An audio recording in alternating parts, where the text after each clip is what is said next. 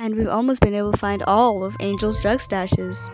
Almost. So, once that's out of the way, it should be much smoother sailing. So, what do you think? The hotel!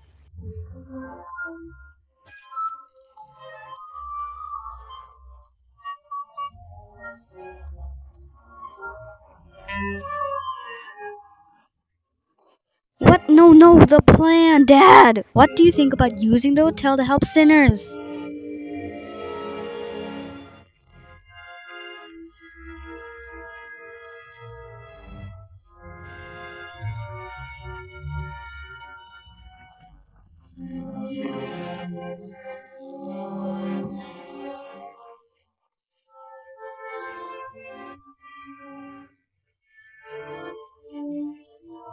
These are our people, Dad. I I have to try.